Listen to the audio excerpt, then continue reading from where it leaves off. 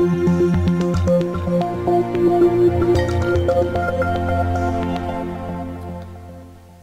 this video we are going to look at the design of a scene composite structures based on the example of a vertical wind turbine.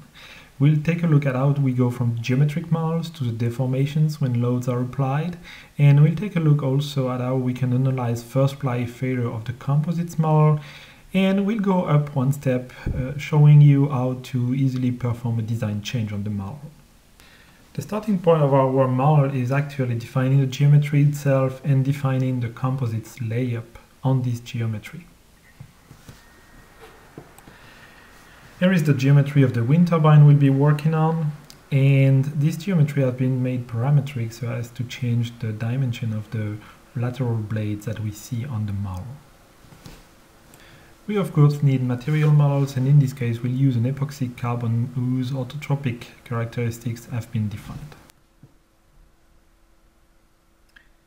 The next thing we need to do is to create a mesh on the model and actually we'll create also a number of name selection just to identify some of the parts of the model like edges or faces. Here we see a picture of the mesh and we have the folder with name selection at the bottom that shows that we have defined a number of entities that will be used subsequently to define orientations or simply ply locations.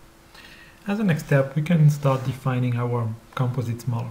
We see here the import of the epoxy carbon that we defined before and we are creating a fabric which is based on this material and a thickness of 1 and the next step is defining a stack up made of four layers of this fabric with different angles. So we'll start with an angle of 0, an angle of 45 degrees, minus 45, an angle of 45 degrees, and finally an angle of 90 degrees.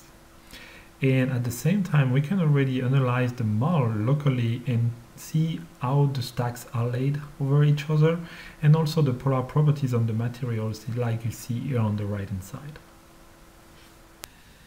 Then we will define the material orientation. In this case, we use a cylindrical coordinate system so as to define the orientations on the shaft following the tangential direction of the cylinders that defines the shaft. So the, the thing we do here is selecting the shaft, choosing the coordinate system that will be used for the orientation, and when we draw the orientation, we realize that we indeed follow the circumferential direction around the cylinder. And at this stage, we are ready now to define the ply groups on the shaft itself. So we've defined the orientation and now we are going to choose our shaft again and say, uh, uh, define the stack up we are going to use. Remember that was our four layer stack that we defined earlier in the process. And we can here define even the number of layers we want. So in this case, we have two layers.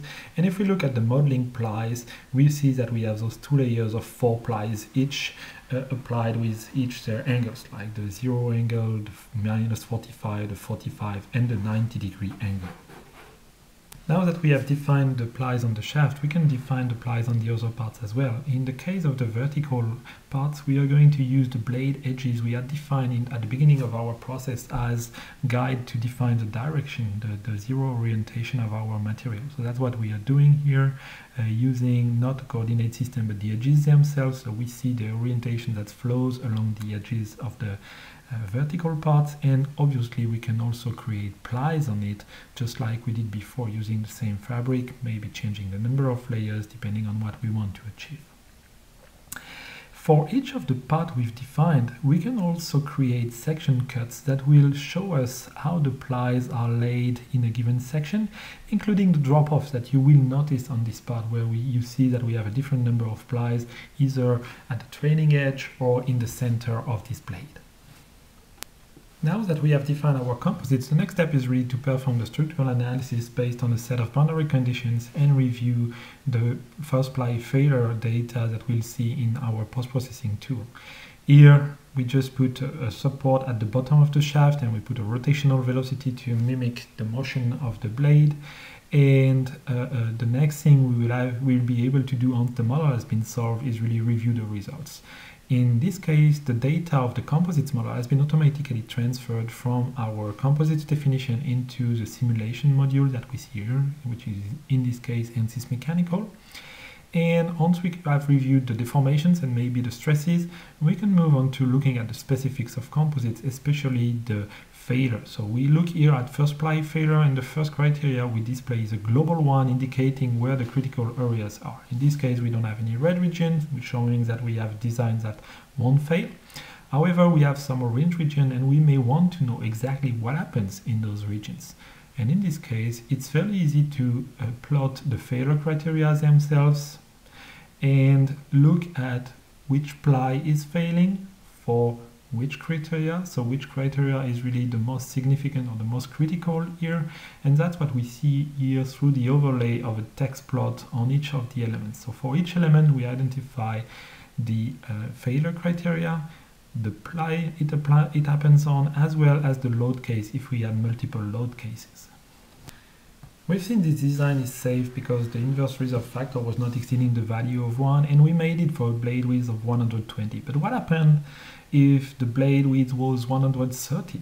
What would this change to my model? And to, to know that, it's here very easy to change the value of the blade width to let's say 130 and just update the project to check new results. And here we have a full update of the model, including the simulation model, including the solution, and we can review the results and realize that in this case, indeed, changing to 130 led to a few more critical areas that we see here from our parameter value exceeding a value of 1 with 1.07.